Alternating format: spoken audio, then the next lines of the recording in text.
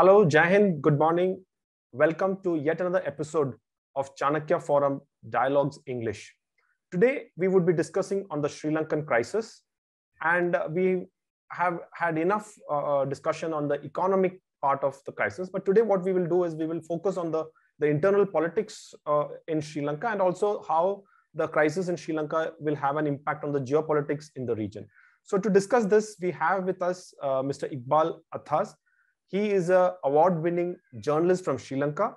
He is currently the political editor of the Sunday Times, and he's also previously worked as a defense correspondent, and he's covered the insurgencies and many other war uh, in, in Sri Lanka and outside. So we, we have a very eminent speaker with us to discuss on this issue. Uh, Dr. Mr. Iqbal Athas, welcome to our show. Thank you for having me. And firstly, I hope everything is fine at your end and uh, everything is safe and sound at your end. Well, it is, uh, except perhaps uh, the, the situation the country is facing now. As you know, the protests are growing and the economy is taking a further beating due to power cuts and the non-availability of fuel and uh, also medicinal drugs. So on the long, long run, it's going to have a, a bigger adverse impact. Yeah, my, my, uh, my question also was, you know, based on that, that how do you see this current crisis? What is the political fallout uh, of this, uh, which is going to happen in Sri Lanka? What is the future of the Rajapaksa family? Number one is the future of the government itself. As you probably know, the government has lost its majority in parliament. Now, surprisingly, here is the government which at one point of time had a two-thirds vote, and they were able to, in fact, amend the constitution and bring in some very highly controversial provisions. But now, at the moment, they are in a minority. And as it happens in our part of the world, a lot of horse trading is going on now to shore up their majority. So one member from the former president, Maithripala Sirisena's Sri Lanka Freedom Party has already joined the government, but this leaves them still seven members short for a comfortable majority. And until they receive a majority, their actions will be restricted. Number one is the fact that they cannot impose a state of emergency or take any other measures or legislate in parliament. So their first priority in the long run is to ensure that they have a parliament where they have a majority vote. Of course, the other priority is turning to the International Monetary Fund for further assistance. And uh, those who are familiar with the discussions know that it's not going to be an easy task where the fund is just going to pull a drawer and say, here is the money to go and spend. Initially, we are told that it will take anything between six to nine months for the discussions to materialize. And once it does, uh, the IMF is bound to cut down a number of areas where the expenditure has been very, very high. Now, to give you an example, the present government has been militarizing at a rate. The army has been growing in number. And uh, for some unexplainable reason, we have also had what he called a Coast Guard, when the, the role of the Navy all these years since independence has been to carry out that particular task. So that is one aspect. And then we also have our national carrier, the Sri Lankan Airline, which is swallowing money at a rate. So these are some of the areas where they may want cuts in expenditure. And these are uh, areas, again, which are politically sensitive to the government. And President Rajapaksa himself is a, a pro-military man, and how he's going to look at it remains to be seen. Uh, Mr. Iqbal, the protest uh, on the streets of uh, Sri Lanka, uh, we see that uh, you know more and more young people are there. You know there is you know more uh, probably because you know they have they, they they have never seen such a kind of crisis in Sri Lanka as probably you would have seen in the early days of the LTT and all those things. These kind of thing you know probably would have that that phenomena of how a nation can come under stress for various reasons but now what we see is that there is a generation of young people who are uh, who are there on the streets and these people what what what one can make out from the social media is that they want uh, uh, Rajapaksa uh, government to go and so and but Rajapaksa being such a, a prominent uh, um, uh, you know leader and the, the family itself, how do you see their particular you know what is the future of Rajapaksa family in Sri Lanka? Well, I would think the role of the youth is very, very significant for a number of reasons. That's the next generation which is taking up issues. And uh, if one looks at it very closely, this is uh, again a kind of hybrid protest. There may be a few odd elements here and there who may have cashed in to create problems, like, for example, the incidents that took place outside the president's private residence. But other than that, if you see, the protests have been very, very orderly, orderly to the point where even the litter at the Galle Face Green or the Galle Face Promenade are collected and disposed of. And there is a very high degree of discipline that is being maintained. And also what transpires during various meetings and discussions there, the fact that there are allegations of corruption against the Rajapaksa family, and particularly among members who have constituted the cabinet. And it is known that the 75% of the resources of the government have been distributed among the family members in the cabinet. So one significant factor which uh, the protesters have achieved is uh, being able to convince Gotabaya Rajapaksa that there are too many members in the family. That is why he removed Basil Rajapaksa, his brother, from being the finance minister. And it is no secret that there have been a number of allegations of corruption against him. Then he removed Chamal Rajapaksa, who is, who is also a minister, and uh, Prime Minister Mahinda Rajapaksa's son, Namal Rajapaksa, who has also been removed from the cabinet. So in the recent past, we have not seen President Rajapaksa talking to the people, trying to explain what, what he feels about these issues or what he plans to do about these issues. It appears that he is more preoccupied in trying to raise the numbers in parliament before thinking of any other measures uh, to deal with this situation. Uh, uh Mr. Iqbal, you had mentioned about uh, you know the increasing militarization which uh, President Rajapaksa has been doing, including uh, you mentioned about Coast Guard and uh, you know uh, and uh, also uh, one of the reasons why the rajapaksa got such a huge majority was uh, post the easter day bombing which happened uh, in sri lanka there was a outcry that you know that security aspects was given much more priority. And they believed that rajapaksa being a you know a, a, a powerful man or a, a, man with a as you mentioned a military background and all probably he can give that security. So my question is that uh, of course the easter bombings did have an impact you know in bringing the tourism down and you would have seen even that during the LTTE days. And you mentioned about hybrid war you know the hybrid uh, protest also. So is there a chance of you know these kind of elements also misusing or not rather misusing making use of this particular crisis which is happening in sri lanka? And yet again you know uh, we see the the ugly faces of terrorism uh, coming up in sri lanka again I personally don't think uh, it can take the form of terrorism, but there certainly is the likelihood of others cashing in on a situation like this. Uh, when I say others, there could be elements within the administration who want to help by precipitating a situation. Other than that, we haven't seen any sort of sinister outside elements getting involved. But having said that, there is also another factor to bear in mind this has also unified uh, the main religions in this country. For example, Buddhists, then the uh, Sinhala Buddhists, then the Muslims and the Tamils. Now, in the last two days, we have seen a big influx from the north and the east uh, to the Galle Face Green. Now, this is in marked contrast to what uh, President Rajapaksa has been propagating he had been propagating a, a rather disturbingly racist line where hardline clergy have been making very racist remarks at various stages. And we saw them even speaking out um, just a couple of days ago. But that has not taken roots, uh, fortunately. And uh, this being the holy month of Ramadan, we have also seen situations where the at fast break time, we see Muslims going and sharing their food uh, with the others who are taking part in the protest. Now, yesterday was very striking because it was the National New Year, the most widely observed holiday in Sri Lanka, there was one entrepreneur who wanted to remain anonymous who did, distributed 1,500 packets of biryani to the others who were taking part. So this has brought, bound them closer to each other and uh, sort of created a new awareness, which I feel is spreading to most parts of the towns and uh, villages. That's that's very uh, nice to hear that, uh, Mr. Iqbal.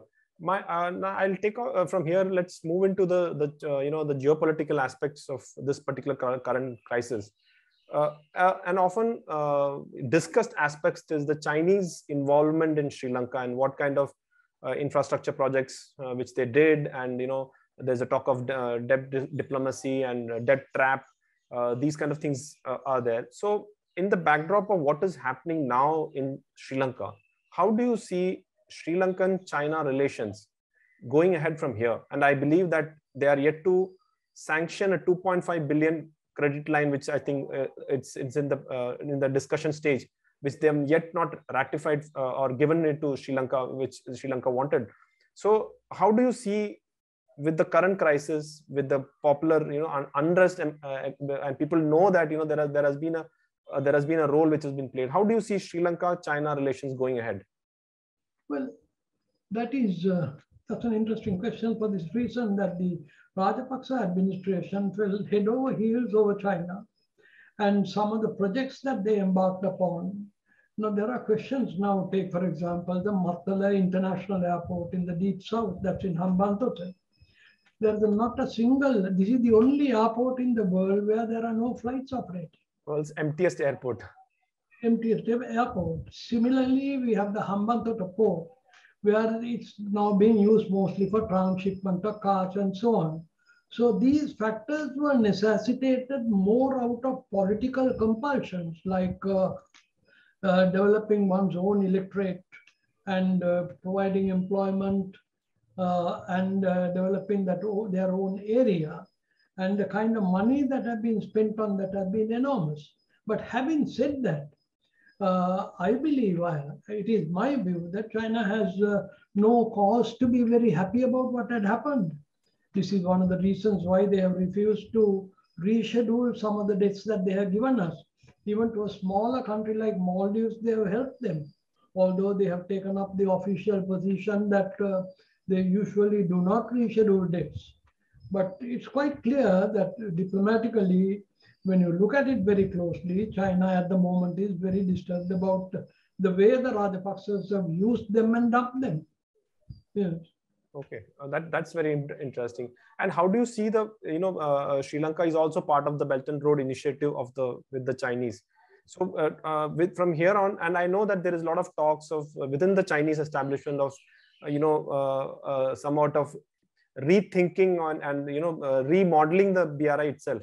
So the Belt and Road Initiative in Sri Lanka per se, with this crisis, how do you see that going ahead? Well, it has not gained very much traction here, but that is not to say that the initiative is altogether gone, because we have seen a, a change in the, the, the, diplomatic structure in Colombo, and we see a, a more aggressive ambassador who have been speaking out publicly, sometimes casting veiled aspersions on third countries. Like, for example, recently they were to receive a, a renewable energy project in one of the islands of the northern Jaffna Peninsula. Yes. When that was withdrawn, uh, the one of the diplomats uh, thought it fit to even have a press conference at a five-star hotel in uh, in Colombo and cast aspersions on the others and say that this was missed out. In other words, they were exp expressing their displeasure. So to those who watch it very closely, these, these, these concerns are very clearly becoming obvious. And uh, now moving on to uh, India-Sri Lanka relations, and I think this uh, we always have had a very close relations with uh, uh, India and Sri Lanka and that's that's we all know that so and during this crisis i think you know india indian government has uh, reached out and you know helped in whatever possible manner whether it is in the credit line whether it is fuel food medicines and all those things how do you see uh, what is the impact of uh, the indian assistance uh, uh, for a you know a friend uh, who is in need, how, do, how does the Sri Lankan people, how does the Sri Lankan public see the Indian help at this point of time? Of course, that impact has been enormous. But before I say that, one has to look at the other aspect as well.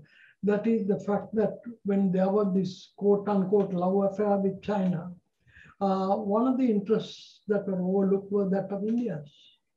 And there were concerns right throughout of India saying that you promise this to us, you don't deliver. You promise this to us and you don't deliver.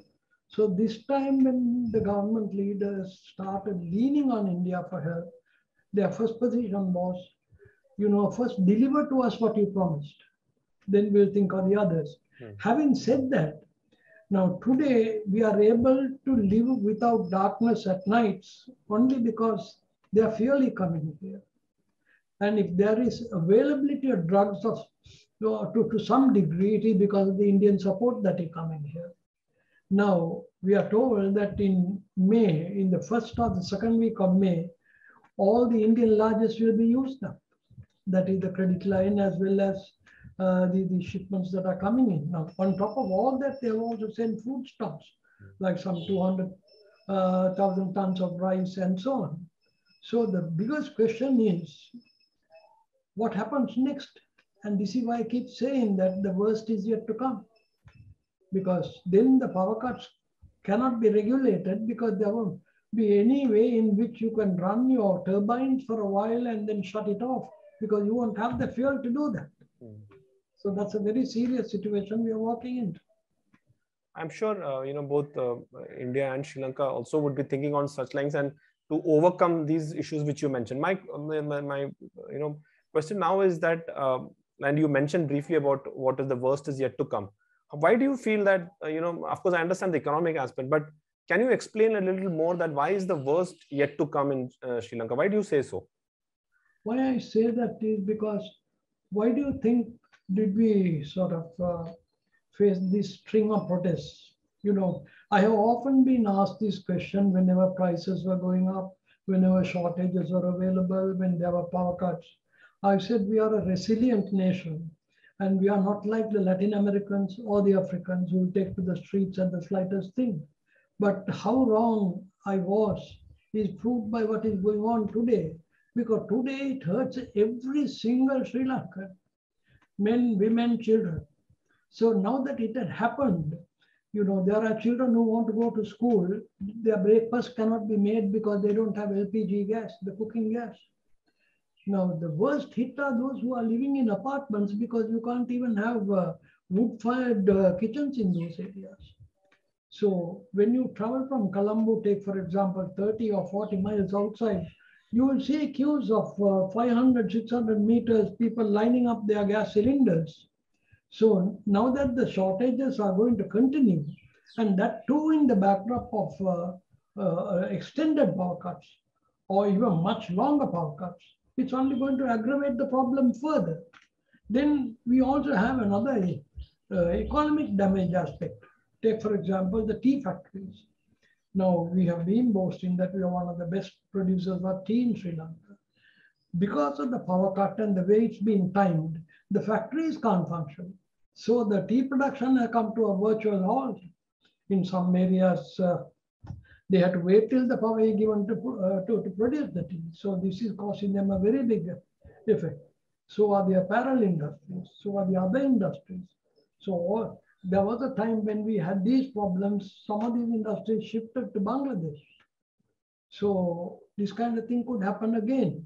So there is also this debate that is going on over foreign investment. There is a school of thought that uh, Sometimes this is the black money sent out by politicians that are coming in, and it's not the genuine investment that is uh, being brought back to Sri Lanka. There may be some wisdom in that, but nevertheless, we don't receive the kind of investment. Then take the tourism industry, for example. It is true in Colombo and a couple of other places, you have generators uh, powering the, the, the, the hotels and so on. But if you go to the coastal resorts, there are no generators. And sometimes the buildings are two and three story high and the tourists will have to walk up. And the kind of service that you offer is much less now. So all this is adding up, except if one sort of sort of goes through the propaganda and see what's going on. So th- these are also causing a very big effect. Now the government is suffering because the last several months we have only been having tourists from Russia and Ukraine. Mm. Now today the government is accommodating them because they can't get back to their country. so whatever they earned in the form of tourist revenue is all gone. Mm. So there's also a lot of mismanagement in that respect. Absolutely, and it's really uh, very worrying uh, to hear that, uh, Mr. Iqbal, that you know the things are really bad. My final question to you is that we saw some sort of you know some people at least from Sri Lanka, you know, moving as refugees towards uh, Tamil Nadu and such like places. Do you see, or do you, what do you feel that you know would there if the situation really goes out of control further as you as you think it should, it it would. Uh, would you see the, uh, an increase in the refugee movement from Sri Lanka towards India? That is a very fearsome prospect because this is not the first time we are facing it. When the separatist war was going on, we saw that happen in a much bigger way. And uh, now there is another aspect that I come to come to the fore. That is, we see the presence of those from the north and also from the east taking part in these protests. And uh, they are also feeling the shortage. They are also feeling the lack of fuel and so, so on. So the, the crunch is beginning to tell on them as well. And uh, there have always been allegations that uh, the, the North in particular is very heavily militarized and uh, movement of people as a result is restricted. So this is what, and this is a subject which came up even in the UN Human Rights Council uh, just a couple of months ago. So the government has not been letting, uh, let, sort of letting up on those areas. So this, this could very well contribute to it. Thank you so much, uh, Mr. Iqbal. I think in the final, I, what one one can make out is that you know when uh, the basic necessities of a human being, when it starts affecting, it does not look at the color, it does not look at the race, it does not look at the religion, it does not look at anybody. It is just the human being who is affected, and that's how you know what you said that everybody is now uniting Eh, together, uh, even with so much of differences it was there. So that is, I think, one of hmm. the takeaways of uh, what we can see. Thank you so much, Mr. Iqbal, for taking the time out and speaking to us. Uh, thank you to all for watching, and we will be back again with yet another episode of uh, Chanakya Forum Dialogues English. Jai.